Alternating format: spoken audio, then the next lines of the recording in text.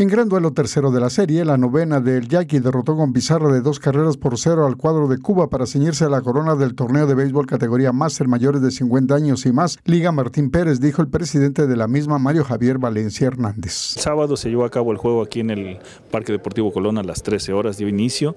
Un gran partido fue la definición de la, de la final. Eh, estuvieron presentes el equipo Cuba y el equipo Yaqui. Salió Yaqui campeón, ganando 2 a 0 el, el partido. Una gran, gran novena presentaron el equipo Yaqui. Cuba fue un gran rival.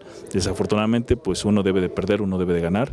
Y Yaqui fue el afortunado que se coronó campeón el sábado pasado. La novena monarca de la Liga Zapatina Martín Pérez Cortés terminó la campaña regular en el liderato e invicto. Solo perdieron un juego en el playoff final ante Cuba, que fue sublíder general y ahora subcampeón. Y en breve arrancará la siguiente edición con la que cerrarán este 2023. Estamos a punto de sacar la convocatoria para invitar a todos los equipos de la región para que se sumen a este campeonato, que estén aquí presentes y vengan a divertirse un poco los fines de semana. Al momento se han reportado para participar para la siguiente edición seis novenas. Espera que la reunión de los bajos del Parque Deportivo Colón el próximo lunes se reporten más para que el sábado 14 arranque la última edición de este año. Para RTV Más Deportes en Cámara Jesús Alemán, informó Carlos Serrano Bazán.